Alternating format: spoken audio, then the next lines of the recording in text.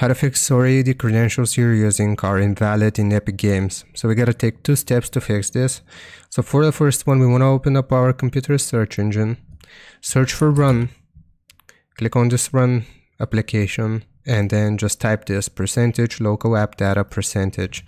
So percentage local app data percentage and click on OK.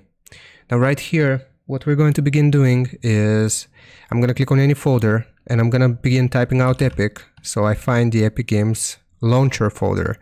We want to find this folder, Epic Games launcher. Open it up. Here we will go to saved. We will find the web cache folder and it should have some numbers after it. And just delete this whole folder.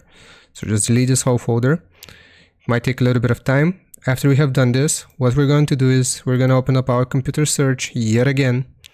Search for Epic Games Launcher, find the application, right click on it, open file location, right click on Epic Games Launcher yet again, go to properties, go to the compatibility tab and check these three options.